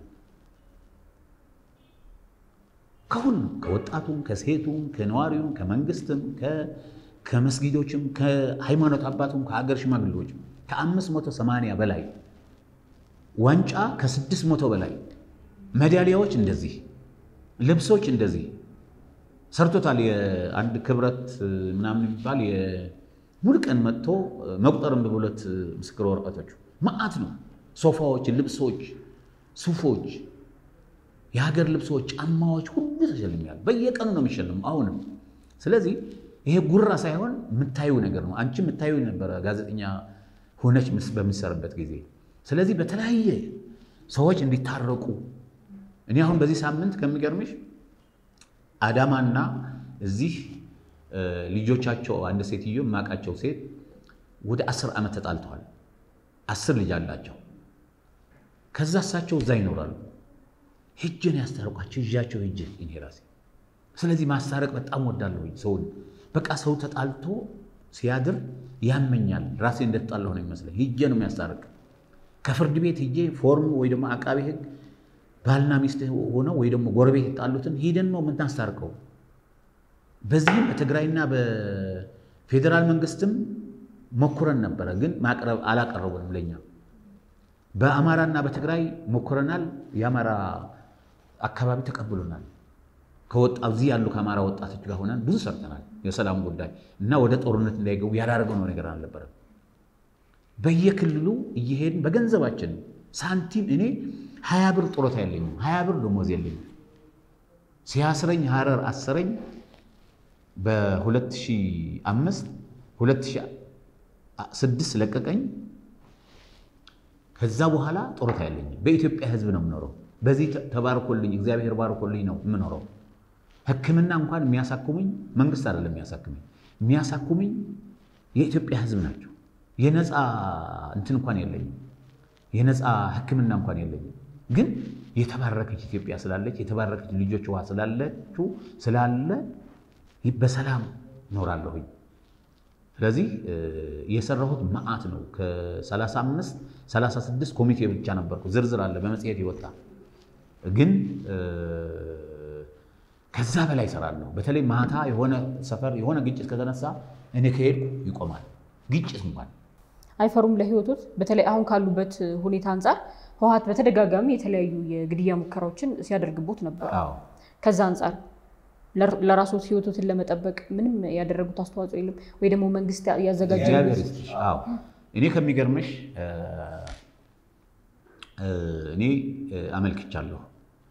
አመልክቻለሁኝ የት አመለከትኩ ልክ ነሽ። አመለከትኩኝ የት አመለከትኩኝ የምትይኝ የጠቅላይ ሚኒስትሩ የሴክሬታሪያት ኃላፊ የነበሩት አሁን ተነስተዋል መሰለኝ እሳቸው ማመልከቻ አምጣ ብለውኝ ይሄ ችግር አለብኝ ቤት እንኳን የለኝም የቀበሌ እንኳን የቀበሌ መታወቂያ ምንድን ነው የሚለው ዜሮ ዜሮ የምትል ነው ያለች። ይገርምሻል። ቀበሌ ቤት አልሰጠኝም። ኮንዶሚኒየም ደርሶኝ ነበረ ጆሞ። ከዛ መክፈል ሳጣ ሌሎች ወሰዱት ወሰዱት ሌላ። ከዛ ስሰጣቸው ይሄ ይሄ ችግር አለብኝ ከቀለብ ጀምሮ ከሕክምና ጀምሮ ስላቸው እሺ ማመልከቻ አምጣ ለጠቅላይ ሚኒስትር እሰጥልሃለሁ ብለው በዛው ቀራ። ከዛ በኋላ ደግሞ የብልጽግና የፌዴራል ብልጽግና ጽሕፈት ቤት ኃላፊ የነበሩ አምጣሉኝ ወደዛ ተመራልኝ። ምንም ነገር ስልካቸው ዘጉ። ከዛ በኋላ ከዛ ሀያ እኔ ለስቸው መጥቼ ነው እንጂ ከሀያ በላይ ፌዴራሎችና ያሉ ፌዴራሎች በሙሉ ይገሉኛል ብዬ ማመልከቻ ሰጥቻለሁ። ለአዲስ አበባ ያሉ ፌዴራል ደህንነት፣ ፌዴራል ፖሊስ፣ አዲስ አበባ ፖሊስ፣ ክፍለ ከተማ፣ ወረዳ ሳይቀር ማመልከቻ ሰጥቻለሁ። አለ ለማን እንደሰጠው አለ በኮምፒውተር ተጽፎ። ከዛ የሆነ ጸጥታ ሄጄ ሳናግረው ምን አለኝ ወደ አንድ ቦታ ላኩኝ። አንተ እኮ አለኝ አንተ እኮ ሲገሉህ ወይ ደግሞ ሲያቆስሉህ እንትን ነው የምናጣራው ችን እንዳታወጣች ሲገሉህ ወይ ደግሞ ሲያጠፉህ እ፣ ምርመራ እናጣራለን። ይሄ የሚል ነው ያለው። አንድ ቀን ደግሞ የሆነ ቦታ ደውልልኝ ብዬ አንድ ቦታ ሲሄድ ማመልከቻ ሁለት ጊዜ ሶስት ጊዜ ነው የሰጠኋቸው። ለጠቅላይ ሚኒስትር ሰማንያ ሰማንያ ብር እየከፈልኩኝ በፖስታ ነው የላኩት። ሌላውም እንደዛ በፖስታ አምጣ ያሉኝ ሰጥቻለሁ። ግን አንድም እግዚአብሔር እየጠበቀኝ ያለው ኢትዮጵያ ሕዝብ እንጂ አንድም ጥበቃ ያደረገልኝ አንድም ጥቅም የሰጠኝ አንድም ሞራል የሰጠኝ አካል የለም። አንድም ነው የምልሽ። ጠቅላይ ሚኒስትር ጽሕፈት ቤት በአ- በዛ በኩል ሄድኩን እንትን አስገባ ብሎ ሌላ ማለት ነው አስገባ ብሎኝ ሲሄድ በፖስታ ፖስታ ሞጥቶልኛል አለ እ። ለካ እ፣ ሰውየው ሸዋ ነው አገሩ፣ ሰሜን ሸዋ ነው አገሩ እና እ፣ ምን አለኝ ኦ ኦ ኦ ኦ፣ ተጠንቀቅ አለኝ። ለራስ ተጠንቀቅ፣ እኔ ምንም ወደዚህ ማስገባት አልችልም አለኝ። ለምን? አይ በኋላ ዘወር ብዬ አንተ ይህች እኮ አድዋ ነች ሚስቱ አለኝ። ከእነሱ ጋር ነው የሚገናኙ እነሱን ያስቀጥ እዚህ ኃላፊ ያደረጉት ኦ ብዬ ሄድኩ እና በየሄድኩበት መስሪያ ቤት ይገርምሻል፣ ምንም ጥበቃ የሚያደርግ የለም፣ ምንም የሚያደርግ የለም። አዲስ አበባ ፖሊስ ትንሽ ጥበቃ ጀምረው ነበረ። ከዛ በኋላ ያው እኔ ደግሞ የሚጠብቁኝ ሰዎች የሚያበላው ያስፈልጋል አለ የሆነ የሚያጠጣው ያስፈልጋል፣ መኪና ያስፈልጋል። እና ከዛ ተውኝ፣ ሁለት ተመድበው ነበር ተውኝ። ከዛ ሄድኩኝ እንደገና ሲሄድ ይሄ እኔ ልሞት ነው ሊገሉኝ ነው፣ እንደዚህ ስጋት እየደረሰብኝ ነው። አንድ ቀን ሄዱና ስጋት የደረሰብኝ አደጋ ሊደርስብኝ የነበረ ቦታ ትናረጉ ማንም አይጠይቅም። ይሄ ሁሉ ሆስፒታል ስተኛ መርዝ አጠጥተውኝ ሆስፒታል ስተኛ ይሄ ጠቅላይ ሚኒስትር የሚሰሩ ሰክረታሪያት የነበሩ ጠይቆኛል በስልክ በቃ። ሌላ ግን ማንም አልጠይቀኝም። ማንም ግን ለውጡን ደግፌ ድሮም ለውጥ እንዲመጣ ነበር የሚከራከረው። ለውጥ ሲደግፍ ግን ምንም ነገር የለም። ከሚገርምሽ የትግራይ ብልጽግና ተነግሮታል። የኦሮሚያ ብልጽግና ነግር ያለሁ ሂጅ ጠብቁኝ፣ የሆነ ነገር አግዙኝ። የኦሮሞ ብልጽግና ኃላፊዎች ሂጄ ጠይቄያለሁ። ፌዴራል ብልጽግና ጠይቄያለሁ።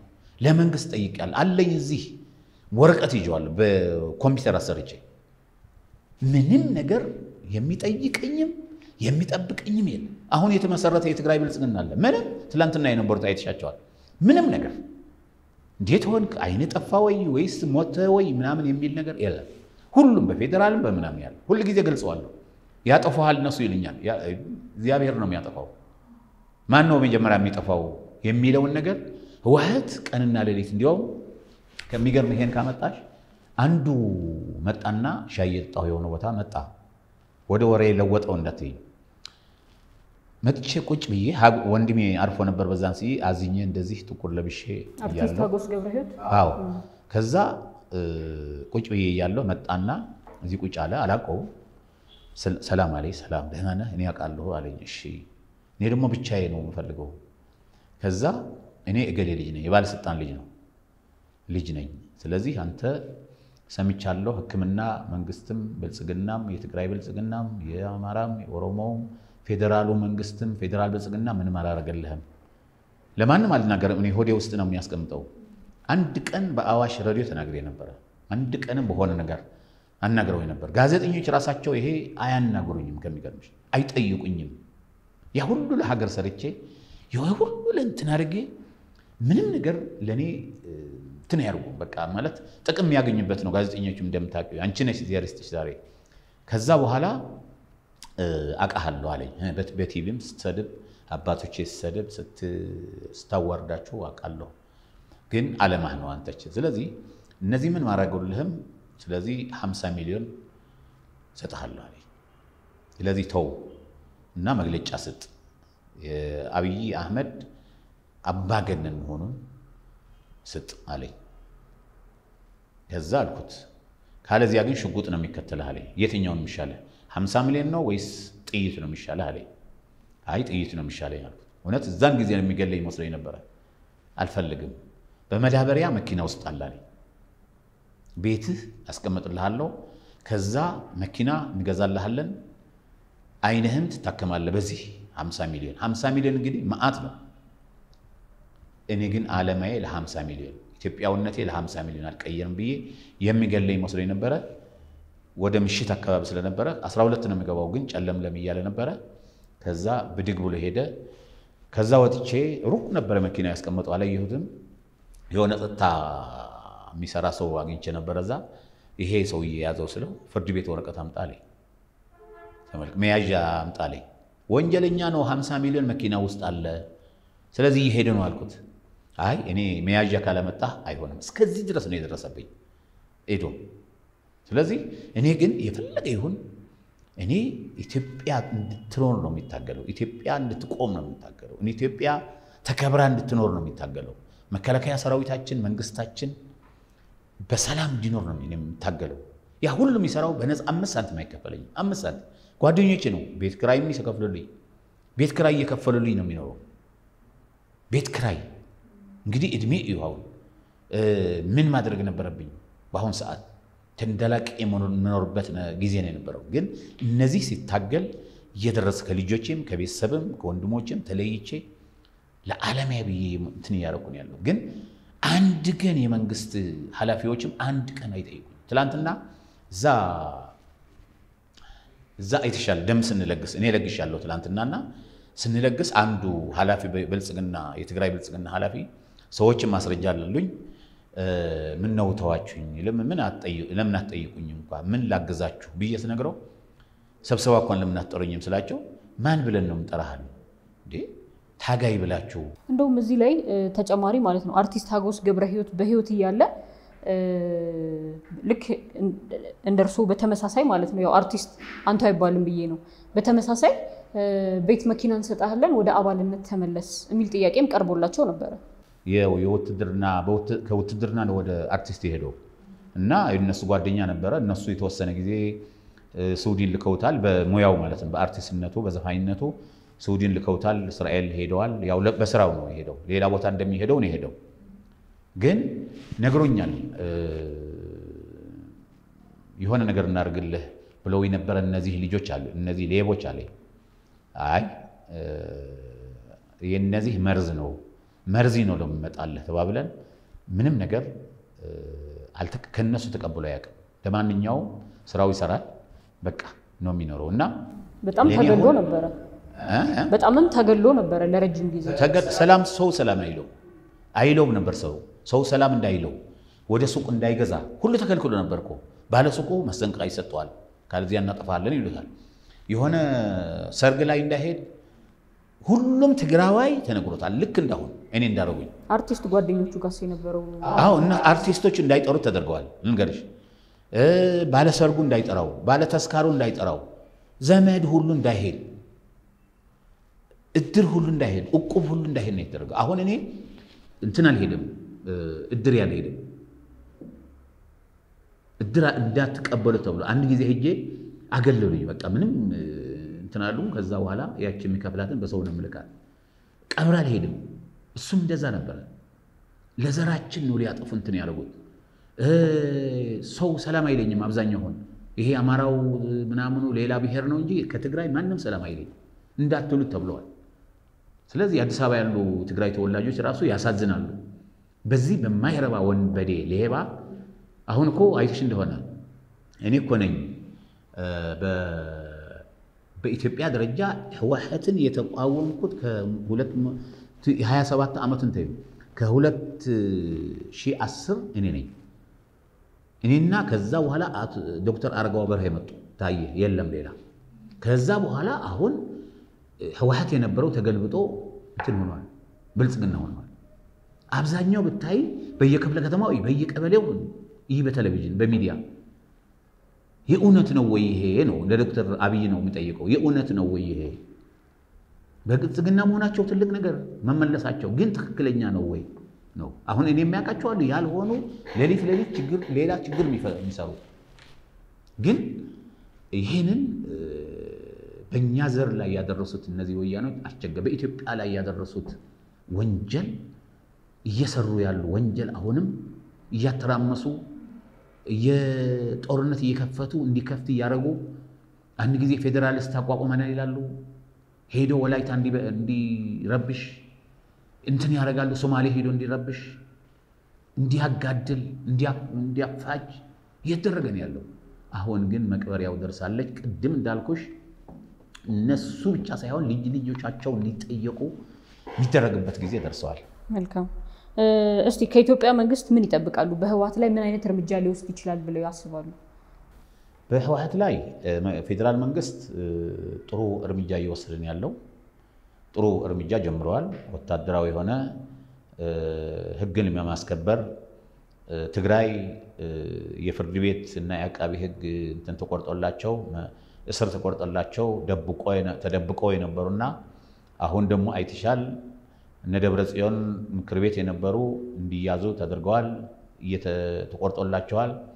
ሌላ ጀረናሎች እዛ ውስጥ ሆነው በሁለት ስጋ የሚበሉ የነበሩ በሁለት ቢላ የሚበሉ የነበሩ በሁለት ስጋ የሚበሉ የነበሩ የድመትና የሰው ስጋ የሚበሉ የአህያና የላም ስጋ የሚበሉ እነዚህ አሁን ቀናቸው ደርሳለች። ነገር ግን አሁንም በመቀሌ የሚደረገው በተለይ በመቀሌ ዙሪያ የሚደረገው ምናልባት የሚደረገው ህግ ማስከበር ምናልባት መከላከያ ሰራዊታችን በጀግንነት እየያዘ ነው ያለው፣ በጀግንነት እየቀረበ ነው ያለው፣ እየከበበ ነው ያለው። እነዚህ ግን እንዳያመልጡ በተቻለ መጠን ጥንቃቄ ማድረግ አለበት። ቅድም ነግረሽኛል። የደብረ ጽዮን ከነ ልጆቿ ምናምን ስለሆነ ትወጣ አንድ ሰው ማምለጥ የለበትም። አንድ ሰው ሁለተኛ ደረጃ ደግሞ ማድረግ ያለበት የዘገየው ፌዴራል መንግስት አለ። የዘገየው ምንድን ነው? አንደኛ command post አለ። ግን መከላከያ ሲይዛቸው እነ ጨርጨር ለምሳሌ እነ ጨርጨር፣ እነ መሆኒ፣ እነ ማይጨው፣ እነ አድዋ፣ እነ ሽሬ፣ እነ አዲግራት ወዲያው አስተዳዳሪ የሚያረጋጋ አካል ማድረግ ነበረበት። የሚያረጋጋ ወታደሩ አለ፣ command post እንዳለ ነው። ግን እዚህ ያለው የተቀመጠው ጊዜያዊ አስተዳደር ተብሎ ሄዱ እነዚህ ማረጋገጥ አለበት። ሰው አስመርጦ በቀበሌም በቀበሌ እንዳሉ ነው የሚሆኑት። ግን እነሱን ማስተባበር በወረዳም እንዲቆዩ ብለዋል። እነሱን ማስተባበር የሚመራ አካል መሄድ አለበት። በክልል ደረጃም በክፍለ ሀገር ደረጃም ሄዶ የሚያረጋጉ ሰዎች ማድረግ አለበት።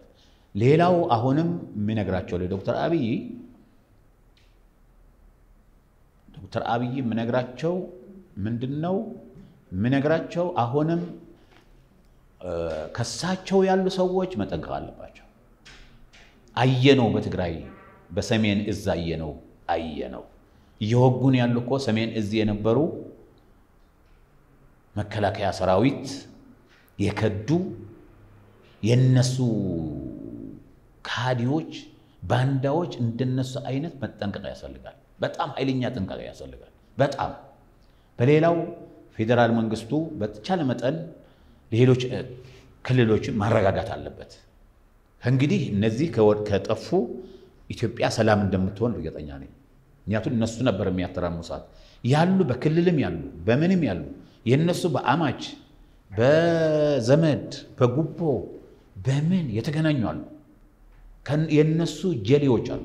በሌላ ብሔርም እነሱ ህወሓት እንዳይወድቅና እንዳይጠፋ የሚፈልጉ አሉ። አሁንም የትግራይ ተወላጆች አሉ፣ የተወሰኑ ማለት ነው። የእነሱ ተጠቃሚ የሆኑ የእነሱ ዘመዶች የሆኑ የእነሱ ጀሌዎች ይሆናሉ።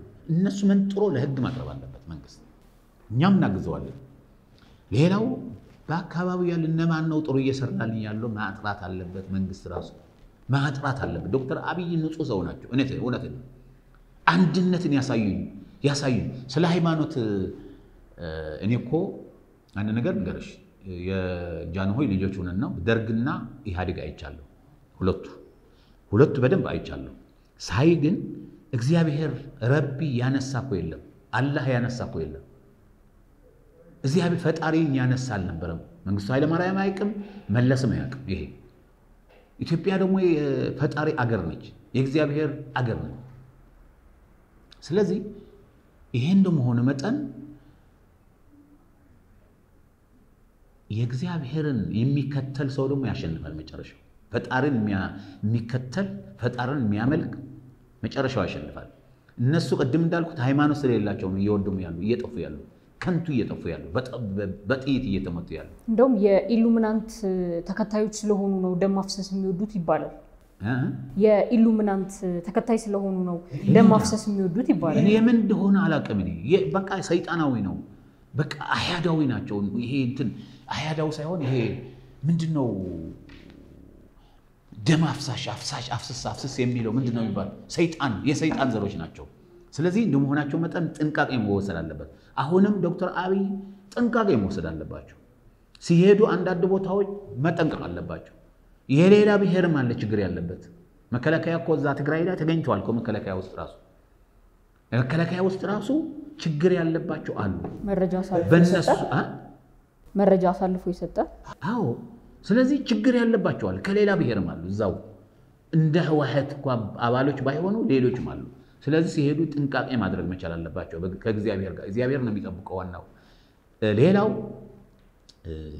መንግስታችን ምን ማድረግ አለበት? ይሄን ከተመለሰ በኋላ እንግዲህ ኢኮኖሚያችን ደቀዋል፣ እዛ ደቀዋል። በጣም ነው የደቀቀው። ምክንያቱም አንድ ጥይት ስንት መሆኑ አንድ ሰው ህይወት ስንት መሆን እናውቀዋለን። ሰውም ጥይትም በተለይ በሰሜን እዝ የተደረገው ድርጊት በጣም አስቸጋሪ ነው። ግን በኢትዮጵያ ደረጃ አሁን የኢኮኖሚ ይሄ ከተመለሰ በኋላ ቶሎ እንዲታጨድ ቶሎ እንዲወቃ ያሉትን ቶሎ እንዲገባና ለህዝቡ በኑሮ ውድነት መስተካከል አለበት። መንግስታችን አሁን ማድረግ ያለበት ኑሮ ውድነት፣ ሌላው የቤት ኪራይ ህዝቡ እየተሰቃየ ነው ያለው። እኔ ታውቃለሽ አንቺ በኢህአዴግ ጊዜ ኑሮ ውድነት ችግር አለ፣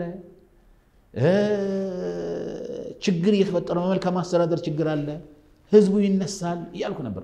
ግን ህዝቡ አልተነሳም። በዚህ በጦርነት ይፈራል፣ በዚህ እንዳይታሰር ይፈራል፣ በዚህ ሰላም ያደርግልን ይላል፣ ሰላም ይለምናል፣ ልማት ይፈልጋል። ግን ኑሮ ውድነት ማስተካከል አለባቸው።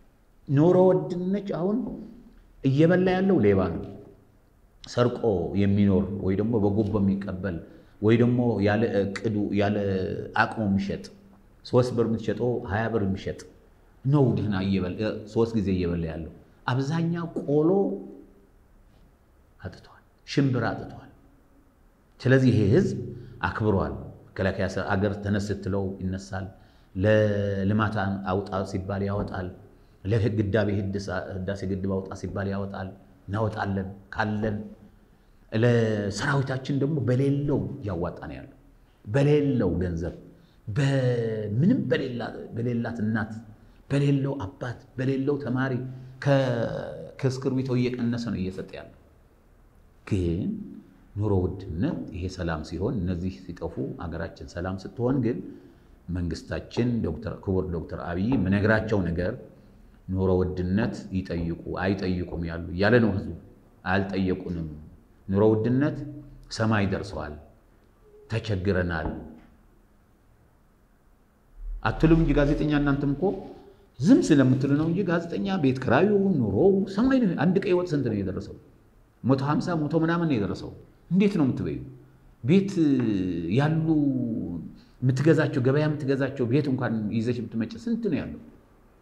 ስለዚህ እናቶች አሁን እያማረሩ ነው ያሉት። መጀመሪያ አገራችን ሰላም ትሆን፣ ለም ትሁን፣ እድገት ይኑራት፣ ዲሞክራሲ ይኑራት፣ ሰላም ይኑራት ነው እያለ ያለው ህዝቡ። ነገር ግን ይሄ ኑሮ ውድነት ህዝቡ እያሰቃየ ነው ያለው። ህዝቡ ተሰቃይተዋል። ስለዚህ መንግስት በኑሮ ውድነት ጉዳይ ማስተካከል ወይ ድጎማ ይሄ ቀበሌ ሸማች የምትሏት ነገር ምንም አልጠቀመችበትም፣ አትጠቅምም። እሷንም እየተበጣጠሰች በጉቦም በምንም እያለቀች ነው ያለችው። በዘመድም በሌላም እየያለ ያለው እዛ ቁጥጥር የሚያደርጉ ሰዎች ደግሞ የወረዳም የምንም ራሳቸው ተጠቃሚ መሆን ነው የሚፈልጉት። ስለዚህ ኑሮ ውድነት ራሳቸው ገብተው ዶክተር አብይ ሙስሊምና ሙስሊም ተጣልተው ሰላም አድርገዋል። ኦርቶዶክሶች ተደርጎ የማይታወቅ ኦርቶዶክስ ነበረ መንግስትና ሌላው የሚያስታርቅ። አሁን ግን ኦርቶዶክስ ዶክተር አብይን ያስታረቁት ሌሎችም ፕሮቴስታንትም ሌላም ሌላም ሌላም ሌላም እያስታረቁ ያሉ እሳቸው ናቸው። ስለዚህ ልክ እንደዚህ እንዳስተካከሉት ኑሮ ውድነቷን ማስተካከል አለባቸው።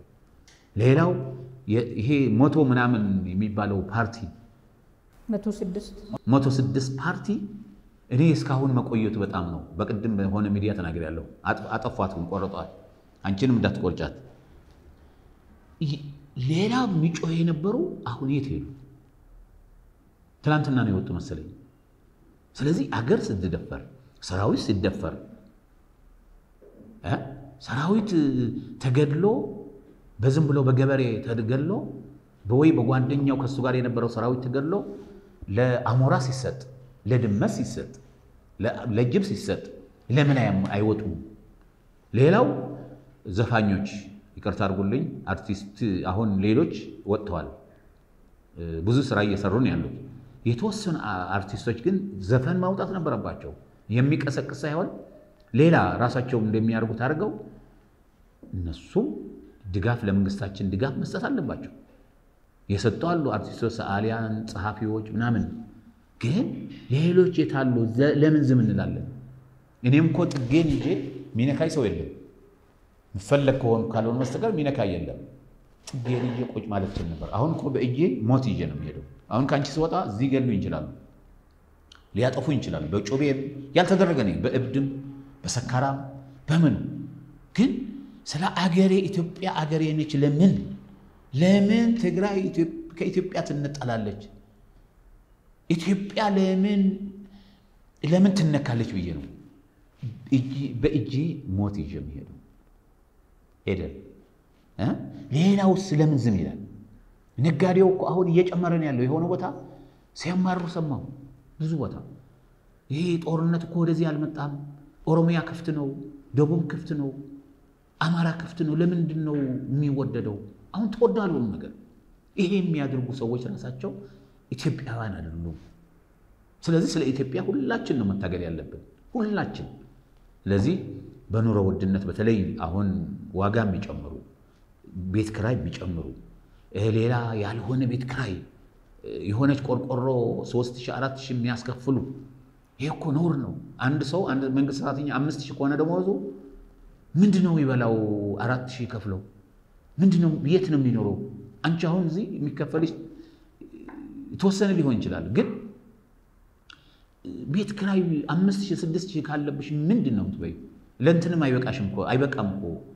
ይሄ ልጅ ወጣት ነው፣ ብዙ ነገር ያስፈልገዋል። ልብስ ያስፈልጋል፣ ጫማ ያስፈልጋል። ሴቶች ደግሞ ብዙ ነገር ያስፈልጋቸዋል። ስለዚህ ኑሮ ውድነት ሰው ተማረዋል። እግረ መንገዶችን ካለቀች የወያኔ ካለቀች በኋላ ወያኔ ካለቀች ትግራይ ያለች ጉዳይ ካለቀች ካለቀች በኢትዮጵያ ያለው ሁሉ ሰላም ይሆናል። ምክንያቱም የነሱ ሸረሪት ነው የነሱ ሸረሪት ነው ክልሏ ላይ ያለው ቁስል የተቀበረው ፈንጅ ያ ይመክናል። እየመከነም ነው በፌዴራል ፖሊስም በክልል ፖሊስም በአዲስ አበባ ፖሊስም። ስለዚህ ይሄ ሰላም ከሆነ በኋላ ግን አሁንም በተቻለ መጠን አንድ ቀን እስቲ ዶክተር አብይ ያውጁ ስለ ኑሮ ጉዳይ ስለ ኑሮ ጉዳይ ምን አዋጅ እስቲ ያውጡ። እውነቴን ነው አዋጅ ከዚህ ማለፍ የለብህም ይበሉ። ምክንያቱም ሰው ተዘጋጅቷል። እንዲያውም አብዛኛው ምናለኝ የተወሰኑ ወጣቶች እኔ ከወጣት ነው አብዛኛው የሚቀራረቡ ምን አሉኝ ጋሸሙ እዛ እስቲ ውሰደደን ወደዛ በጦርነት እንሞት በረሃብ ከምንሞት ኑሮ አልቻልንም ነው የሚሉት። ትላልቅ ሰዎችም እንደኔ ዕድሜ ያሉ እንደዛ ነው የሚሉት። ስለዚህ ኑሮ ውድነት በጣም በትኩረት መታየት አለበት። በጣም በትኩረት ነው መታየት ያለበት። ሱዳን እኮ ይሄ ይደረጋል ማለት ያለም ኢትዮጵያ ውስጥ ሱዳን እኮ አስር ሳንቲም ነው ምናምን ጨምራ ነው አልበሽርም ያወረደው ህዝብ። እኛ ግን አንደኛ ሰላም ያስፈልገናል፣ ሁለተኛ ፍቅር ያስፈልገናል በሚል ህዝቡ ትልቅ ትልቅ ህዝብም ነው ትልም ትዕግስትም እያደረገን ያለውና በኑሮ ውድነት ጋር መታየት አለበት። የመንግስት አካላት ሲሰበስቡ ምን ሲሉ መታየት አለበት። ተወካዮች ምክር ቤት ማንሳት አለባቸው፣ እያነሱ አይደለም። ፌዴሬሽን ምክር ቤት ማንሳት አለባቸው። ሚኒስትሮች ማንሳት አለባቸው። ይሄ ኑሮ ውድነት ሌሎችም የሚመለከታቸው አካሎች ማንሳት አለባቸው። ምን እናደርግ የሚል በእጃቸውን ያለ ሁሉም ነገር። ስለዚህ ጣይፍ አገራችን እየተመረተ ሁሉም ነገር እየተመረተ አገራችን ህዝቡ በኑሮ ውድነት የሚሰራው በራሳችን ሲሚንቶ ነው፣ በራሳችን ድንጋይ ነው። ኑሮ ውድነት ቤት ክራይ ሰማይ ነው። ሁሉም ኑሮ የተባለው ልብሱ፣ ምኑ፣ ጫማው በይታይ በአመት በምናምን የሚገዛ በወራት የሚገዛ ነው። ግን የጎሮሮ የአንድ ቀን ጎሮሮ ግን ችግር ነው። ስለዚህ ይሄ ትኩረት መሰጠት አለበት የሚል ሀሳብ አለ። አመሰግናለሁ። አምባሳደር እንግዲህ በጣም ነው የማመሰግነው። የሰላም አምባሳደር ሙዑዝ አቶ ሙዑዝ ገብረ ህይወት ከኛ ጋር ቆይታ ለማድረግ ስለፈቀዱ ከልምደትም አንጻር ሊያካፍሉን ስለፈቀዱ በጣም አመሰግናለሁ። ይሄ ብቻ አይሆንም። ወደፊት በተለያዩ ጉዳዮች ላይ ድጋሚ መገናኘታችን አይቀርም። በእኔ በኩል የነበሩኝን ሀሳቦች ጨርሻለሁ ለዛሬ ማለት ነው። ወደፊት ድጋሚ ስለምንገናኝ በእርሶ በኩል የቀረ ማጠናቀቂያ ሀሳብ ካለ እድሉን ሰጥቼዎታለሁ። አይ እኔ ለኢትዮጵያ ሕዝብ ነው እንትን የሚያደርገው ይሄ የወያኔ ስርዓት ማስከበር የኢትዮጵያ ሰራዊት በወያኔ ላይ እየወሰደው ያለ እርምጃ በጣም እኔ የምደግፈው የኢትዮጵያ ሕዝብ የሚደግፈው ነው። ድጋፉን መቀጠል አለበት። የትግራይ ተወላጆች ደግሞ ይሄን የወያኔ ሀሳብ እገሌ ትላንትና ከአድግራት ተወላጆች ሲደወልልኝ ምንድን ያሉኝ? የትግራይ የአድግራት ሰው በአየር እየጨፈጨፈው ነው ነው ያሉኝ። እኔ ግን ለኤልትራ ደውዬ አድግራት ገጠር ካልሆነ በስተቀር ከተማ እሱም ቤት ሳይሆን ጦር ያለበት መቼም ጦርነት ነው። ጦርነት ያለበት ቦታ ብዙ ነገር አለ። ስለዚህ መንግስታችን ግን ሰራዊታችን ግን እየለየ ነው የሚመታ ያለው። ግን የሚናገሩት ነገር አለ እዛ ወሬ መጥፎ ነው። ወሬ መጥፎ ነው። በተለይ የወያኔ ሚዲያዎች ቶሎ ማጥፋት አለበት መከላከያ፣ እንዲያውም ቀድሞ ማጥፋት አለበት እነሱ ምናልባት ህዝብ ውስጥ ሊሆኑ ይችላሉ፣ ግን የፈለገ ይሁኑ መጥፋት አለበት። እሱ ኢትዮጵያን ህዝብ እየበከለ ነው ያለው። ስለዚህ የትግራይ ተወላጆች ይሄን እያያችሁ እየተረበሻችሁ የምታድሩት የምትባንኑ ያላችሁ ሌሊት እውነት እየመሰላችሁ ሀሳባችሁን አስተካክሉ። የትግራይ ተወላጅ ከዛ በተጨማሪ የትግራይ ተወላጆች የትም ኢትዮጵያ ያላችሁ በሰላም እየኖርን ያለ ነው።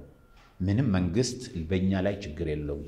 ቅድም ሁለተኛ እየተናገርኩ ያለው መንግስት እያከበረን ያለው መንግስት ሰላም ነው የሚፈልገው። ግን በመካከላችን ሌባ ጭዌን የያዘ ምላጭ የያዘ ሰው እንኳን ለተንኮል ከሆነች ማስያዝ አለብን። አሳልፈን ለመንግስት መስጠት አለብን። አይጠቅመንም። ለራሳችን ጦርነት ወይ ደግሞ ምላጭ በምላጭ ብዙ ሰው ሊቆርጥ ይችላል አንድ ሰው። እሷንም ሌላ ችግር የምትፈጥር ከሆነች ማስረከብ አለብን። በየቤታችን ያለው መሳሪያ ታጋይ የነበራችሁ ታጋዮች የነበራችሁ መሳሪያ በየቤታችሁ የያዛችሁ ድህነት የነበራችሁ በየቤታችሁ ያስቀመጣችሁ አውጥታችሁ ለመንግስት ስጡ። ሌላ ስለት ነገሮች ለመንግስት እንስጥ። ወሬ እዚህ ተመታ እዚህ ሆነ አንበል። ሁላችን ኢትዮጵያውያን አንድ የሆነ ትልቅ ሰው ባለፈው በዕድሜም በስራውም ትልቅ የሆነ ሰው ምንድን ነው ያለኝ፣ እንዴት ወሬ እንዴት ነበረ ምናምን አለኝ። አይ አልሰማሁም፣ እስቲ ቶሎ ልሂድና DW ልይ አለኝ። የዛ ተወላጅ አይደለም ስልጣንም ያለው ሰው ነው። ግን እንደዚህ አይነት ረብሻል ምን ያርግለታል? እሱስ አልኩት ምን ያርግልሃል? እኔ ድሮ አይ ነበር የነሱ አሁን ላይ ለምን አሸባሪ ስለሆነ አሸባሪ አሁን እኮ ወያኔ ከአሸባሪ አልፎ ወደ ማጥፋት ደርሰዋል።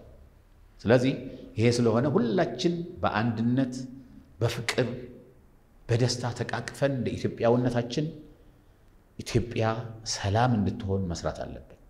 ደስታ እንዲኖራት፣ ብልጽግና እንዲኖራት፣ እድገት እኔ የማንም ፓርቲ አባል አይደለሁም። የማንም ሆኜም አላውቅም። የማንም አሁን ግን ሳየው ሰው ወደ ፖለቲካ እያዘነበለ ነው።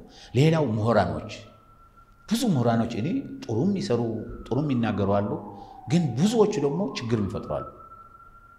ያልሆነ ወሬዎች አሉ። ከምሁሩ አይጠበቅም ይሄ። በትግራይ ትግራይ ምሁራኖች አሁን እኮ በትግራይ እንትን ስለጠፋ ነው ኢንተርኔት ስለጠፋ ነው ወሬ የሌለው አርፈናል። አሁን ቴሌቪዥኑና ሬዲዮ ነው ያስቸገረን። እሱም መጥፋቱ አጭር ቀን ነው። ስለዚህ በማህበራዊ ሚዲያና በሚዲያዎች እያየን እየሰማን ወደ ጣጣ እንግባ። እስቲ ስራችን እንስራ፣ ጸሎት እናድርግ። እስቲ ለሰራዊታችን፣ ለህዝባችን፣ ለትግራይ ህዝብ ጸሎት እናደርግለት።